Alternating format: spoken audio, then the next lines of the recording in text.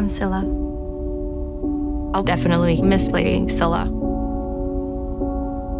It's been an absolute treasure. Scylla's an enigma, you know. Scylla's this person that you love, and you're like, why do I love her? There's an innocence um, and something pure in her.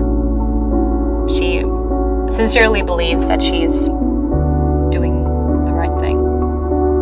wants to set all witches free. She wants a better world for herself and everyone, basically. She's fighting the good fight. She was perfect for the spree. She was alone in the world, and the spree provided a community, a sense of purpose. The spree gave me purpose. And a place to put my pain. She's a marbling of good and evil. She's a bit of both, but ultimately, she's ext-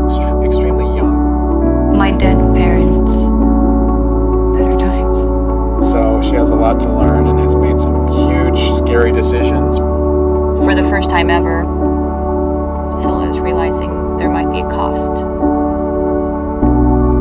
to her engagement to the spree. I love you, Raelle. And I would never do anything to hurt you. Please believe me. Scylla's willing to give up anything. She was willing to die for the cause, and she let them torture her. It didn't matter. She was stronger than that.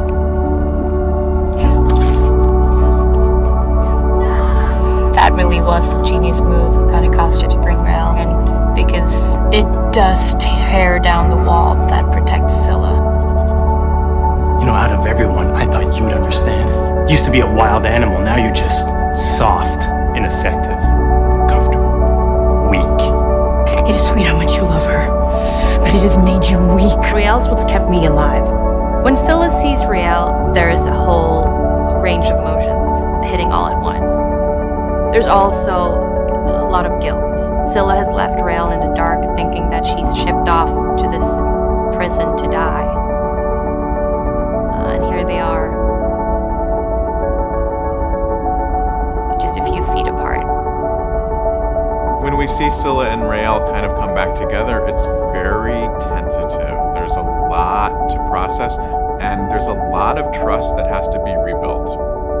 The joy and the surprise when she runs back and brings her in to this wonderful kiss is is beyond word for Scylla. It's everything she wanted. I've definitely internalized Scylla's purpose in life of being Raelle to me needing Taylor in my work with Scylla. So I think we really won the lottery with our chemistry, and even when the cameras aren't looking, to keep that connection and to keep playing with each other and just seeing what we could find.